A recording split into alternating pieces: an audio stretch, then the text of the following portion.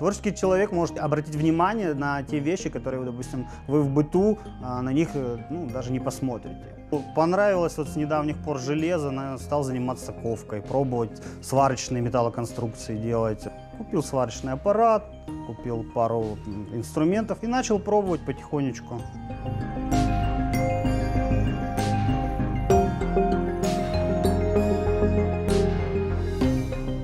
Я, допустим, наблюдаю за многими современными скульпторами, и они именно работают в металле и работают сваркой, разными видами сварки. Это целое направление отдельное, и очень много э, прекрасных вещей создается просто сварочными аппаратами и металлом. В старые времена кузнечное дело – это неотъемлемая часть любого ну, общества.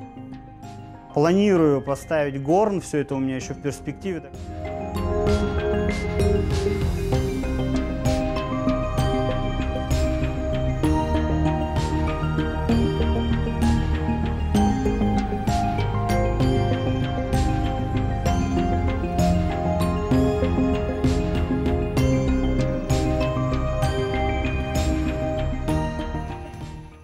Рисую я, в принципе, лет с трех, где-то так, и рисовал всегда. Просто никогда не думал, что буду заниматься этим более профессионально там, или посвящу этому большую часть жизни. Я практически каждый день что-то рисую. Постоянно рисую какие-то образы, которые э, не вписываются немножечко в реализм. Детские рисунки, если посмотреть, я рисовал непонятные этих существ, этих выдуманных персонажей, и с тех пор э, они как бы, ну, тоже неотъемлемая часть творчества.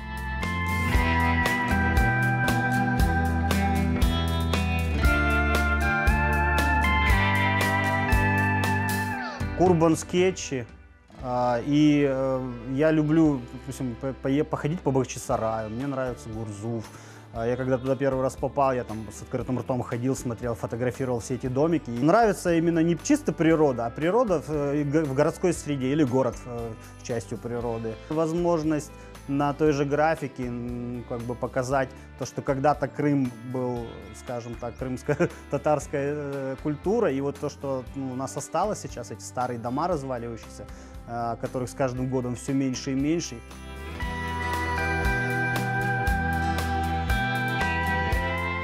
В рюкзаке у меня всегда и пару папок с бумагой. Я рисую и э, тушью, рисую и акварельными маркерами. Иногда это проходит на каком-то ну, в режиме автомат, и э, я пью чай утром, и у меня всегда лежит бумага перед собой, а, какая-нибудь э, ру- ручка или линер, и я что-то на автомате рисую. Рисовать э, для художника это как дышать.